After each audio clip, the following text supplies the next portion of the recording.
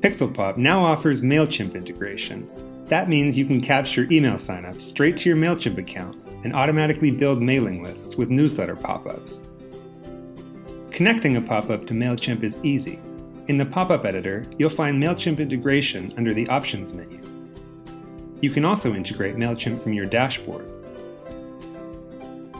Click to connect MailChimp and follow a few simple steps to integrate your accounts.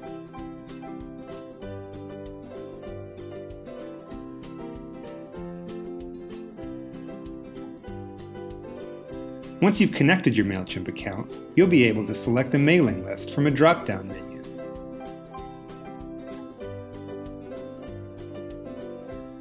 With MailChimp integration enabled, any email addresses collected by Pixelpop will be automatically added to your selected mailing list.